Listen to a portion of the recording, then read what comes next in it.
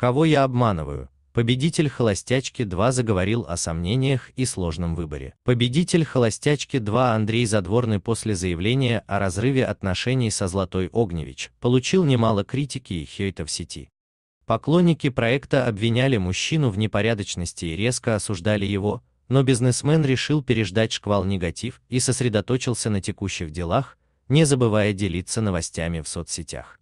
В новом Инстаграм-посте он показал снимок из новой стильной фотосессии и поразмышлял над тем, как быть интересным другим и оставаться собой, следовать за своими желаниями и не предавать себя. Андрей поделился своими мыслями и выводами. Мужчина не скрывает, что ходит к психологу, и по мере работы со специалистом к нему приходят различные инсайты, которые он давно хотел озвучить подписчикам.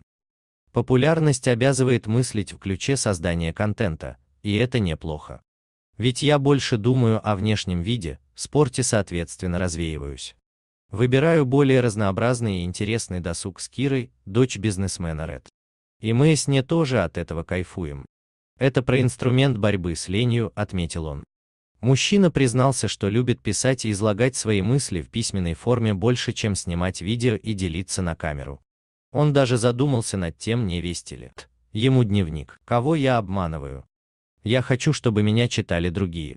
Мне это приятно, особенно приятно, когда кто-то находит между длинных строк то, что я туда спрятал. Желание усложнения и желание в нем быть понятым, признался он.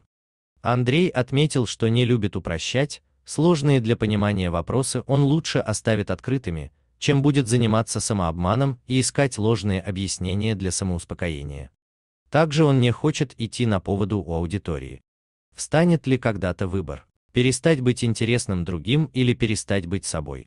Хочется не раствориться, не сбиться, а продолжать слышать внутренний голос и идти своей дорогой, заявил он. Тем временем «Холостячка 2» Злата Огневич удивила поклонников шоу появлением с финалистом проекта Дмитрием Шевченко.